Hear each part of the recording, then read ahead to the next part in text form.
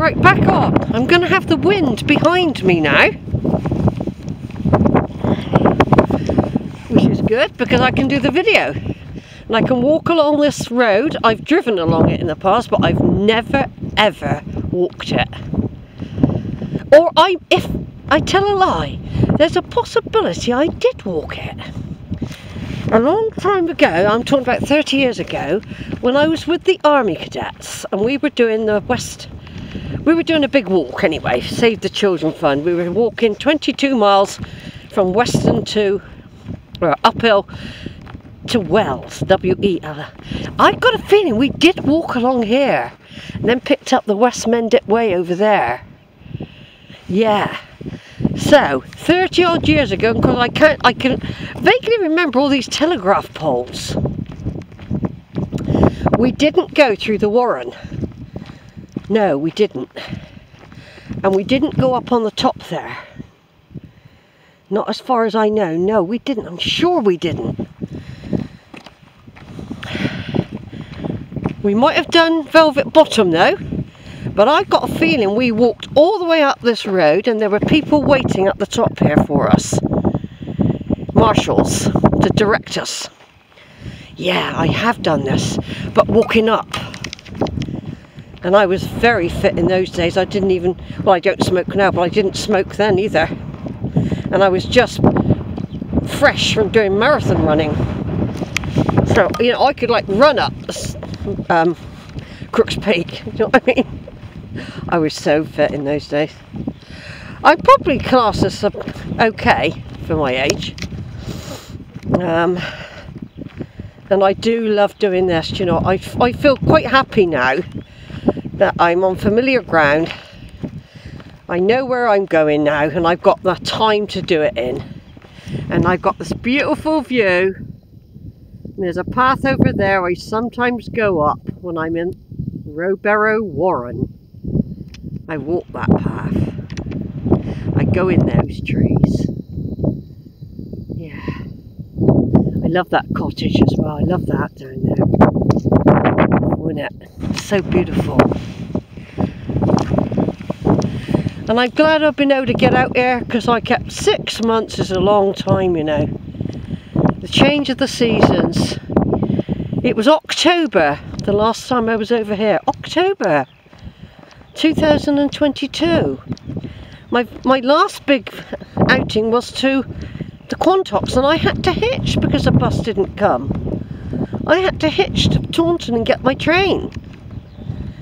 I'm hoping that's not going to happen this year because I will be going out there. But anyway, I'm really walking around this great big diversion and uh, there's plenty of space for me to walk if I don't want to get run over. In fact, I might walk on there now. Walk on the side, look, that's what other people do. I'm not overheated and I'm not cold. I'm doing a lovely bit of, uh, now on a clear day, you would see out to the Bristol Channel there and in, in, certain areas from up there you can see Steep Holm and you can see um, Brean Down like big whales monsters in the sea. Look, I'm really enjoying this you know. Look at that lovely cottage down there my one of my last walks was walking really really sad you know had to that last walk going through Piney Slides. This is what I did. I felt really, really sad. And that's what the 126 bus meant to me and other people. Because it's now more, it is complicated now. Because you can't actually get a bus all the way to Cheddar. And you have to fiddle around with 16 seaters. No, well one of them's got a timetable but the, the other one is also ad hoc. And I don't like planning too far ahead. You book the day before. But I want to know is how it's getting me. Where are we going? You know, it's going to be driving me all over the place, picking people up outside their houses. You know, it seems to me not a good idea. I don't know if it'll last. I don't know. I wish they just put the 126 back on, be quite honest. I really do. I really miss my bus. That was a part of my life.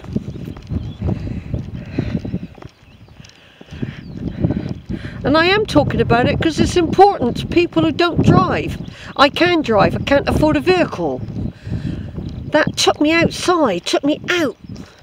Now I've got to walk miles to even get here. But I love it. Look at that lovely view. Let me turn off and take... Right, we're carrying on down the road. It's all downhill, by the way. All downhill. And we'll go around one bend and we'll pick up the track that takes you into Rowberrow Warren. I can hear a vehicle coming. Oh, it's a motorbike. It takes you into Rowberrow and normally I'd be walking down through there now. And there would be a way in. And I had to do like a horseshoe bend movement. Hold on, let's make it out the way. Let this big lorry past. Pass. Let this big lorry go by.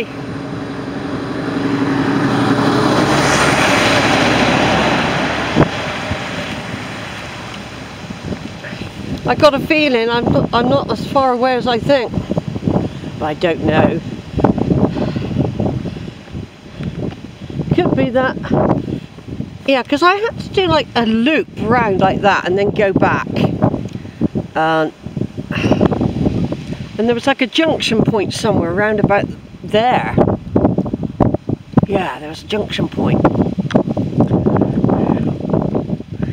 Yeah, actually I can see the path now weaving. It's down here.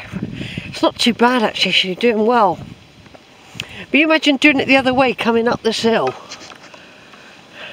Easier going straight through, isn't it? So we're sheltered now, I'm talking to you all. Just a reminder that King Charles III's got his coronation on the 6th of May and millions if not billions, are being spent on it. Despite everyone else suffering. But of course I am a bit of a history lover, so it's difficult really knowing, it's difficult. I'm torn sometimes between it all, between the culture and our history and what and reality. You know what I mean? Like there's people really, loads, loads of us struggling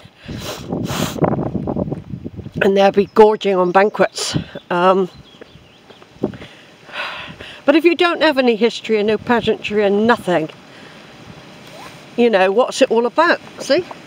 Some people are, are losing everything anyway. Look at Ukraine, having their culture smashed to pieces. Lost people. Lost people. That's not a jeep a jeep.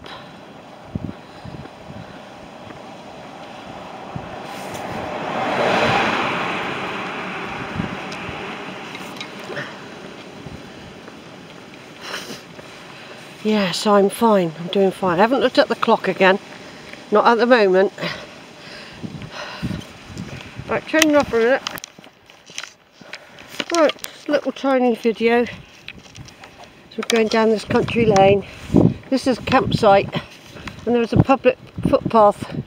That goes over to Shipham I believe. I might try that out one day. I might do. Somebody coming up the road with a bag or could, there could be somebody who cleans the hedges. There's a great big lorry coming now. So I'm going to get out the way. Great big lorry coming.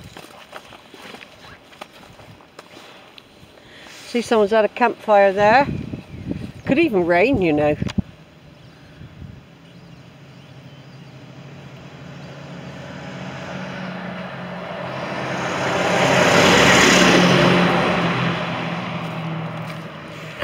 So, yeah, somebody, woman picking up rubbish.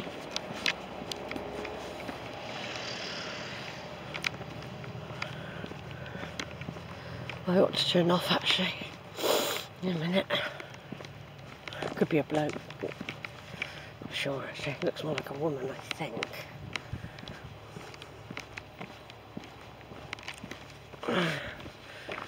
Pretty little primroses in there. There's a little pond, look. Little pond there. That's pretty, isn't it? Little pond.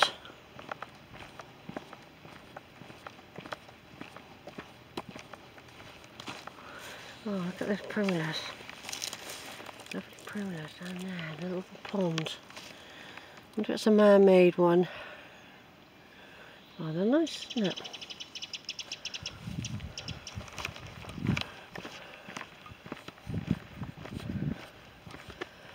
Oh yeah, the Mendip camp. I remember now, yeah.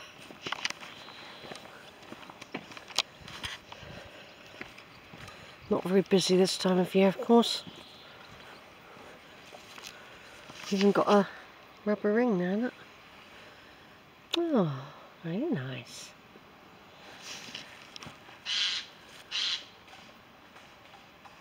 Looks clean.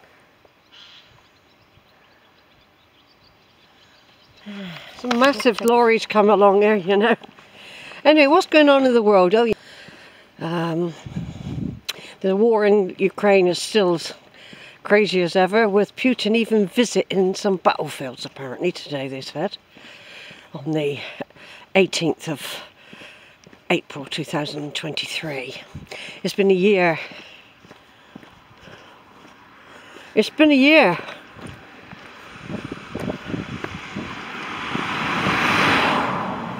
It's been a year since um,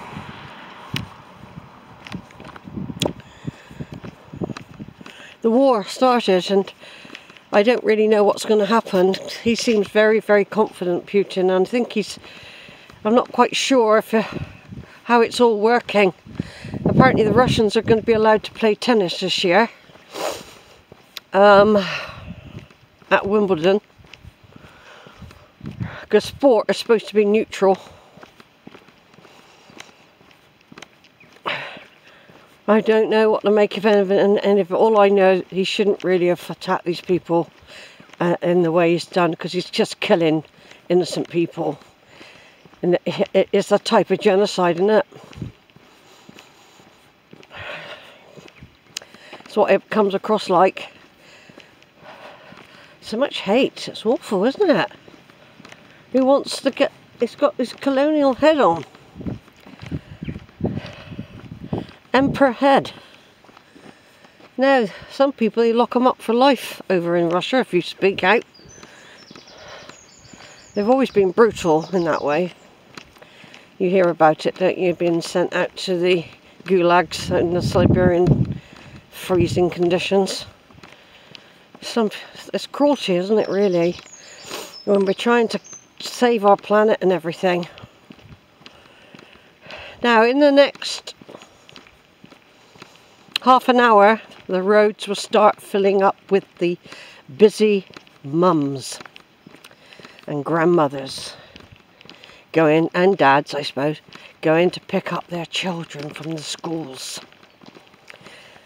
Um, like I said, the farmers' wives with their big 4x4s will be hurtling down these roads soon. Now, by the time that all kicks off, I should be crossing the busy Shipham Cheddar Road and getting on to the quiet, peaceful wander down the West Mendip Way, folks. That's the plan. And I will be walking parallel with the Callow Drove that I walked earlier this today. I've been on, I would have been on one big sweep by the time I get back to Winscombe. And it's hilly whichever way you go but I would say I've chose the right direction really. You've got that initial hill coming out of Winscombe then you've got the Callow Drove which is relatively flat. Then you go downhill skirting the quarry to reach the Cheddar Road Cheddar Shipham Road, and then you have then there is a climb again. You have to climb up the other side, but it's a pleasant walk. There were no, I was lucky. There were cows, but they were far away, and I was able to walk my little walk in areas that I'm so familiar with, like Tynings farm area, views of the beautiful Rowberrow Warren. And uh, that, that was nice, I enjoyed that. Another car coming. Yeah, I really enjoyed that actually.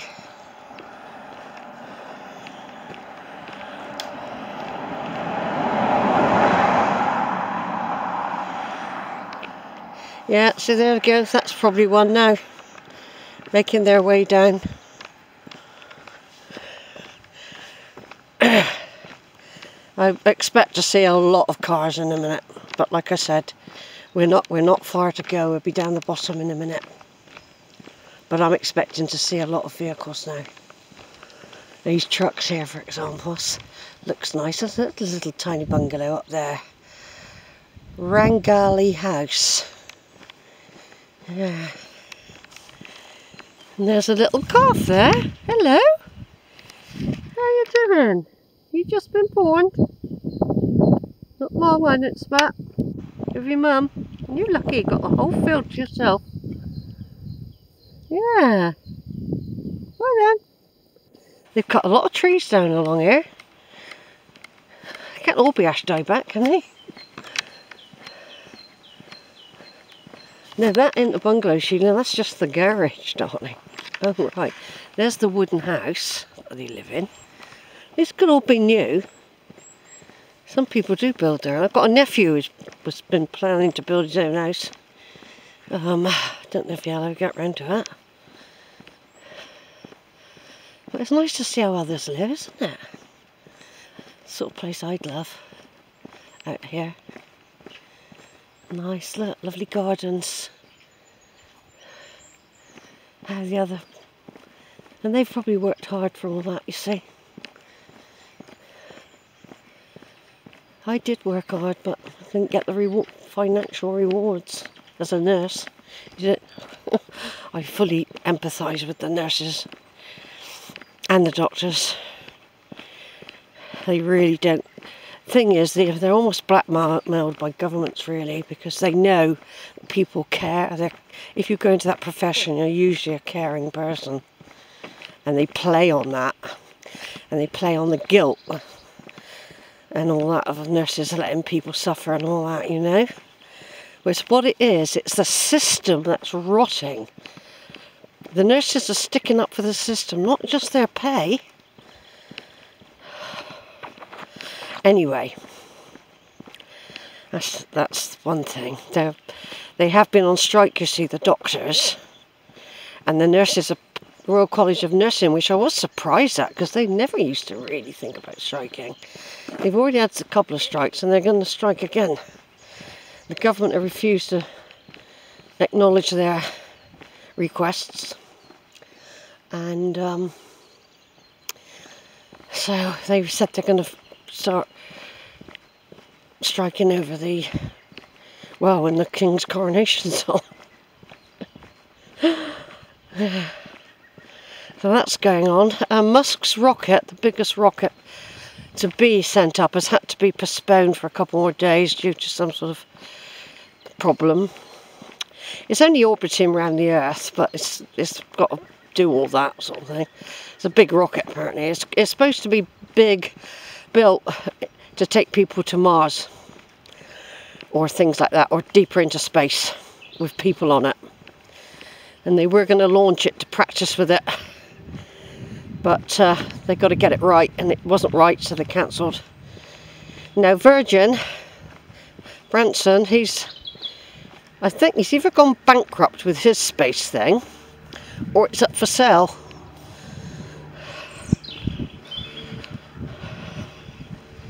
Or it's up for sale.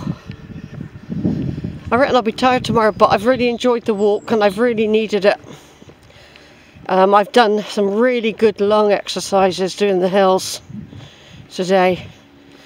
The rib cage has been really working. I, I, uh, I had more indigestion than anything to do with the breathing, to be quite honest. That's the problem. But I, uh, I don't like going out on an empty stomach. But I only had a yogurt and a small pancake. But uh, it doesn't take much. Now, and, and I didn't have my cheese and tomato to what I was going downhill. Back there, I decided I was that's my lunch. Cheese and tomato. I've had a galaxy bar. I've got an oat bar. I've got an orange. I've got a packet of crisps. I've ate my banana.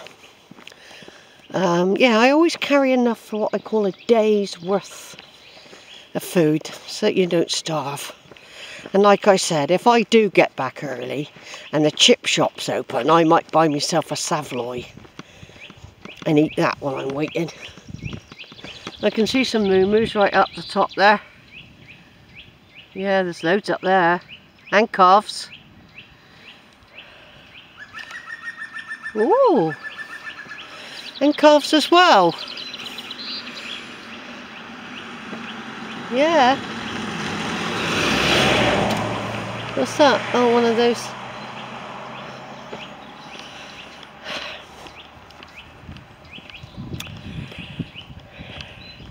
Yeah, there's no panic because it's not three o'clock yet and I'm getting the six o'clock. There's no way I could get the four o'clock one now. But it's not just that. It's the fact that I could get a five o'clock one and they don't put one on. Do you know, I mean, the six o'clock one, even with the the cheddar one, I rarely got the last bus.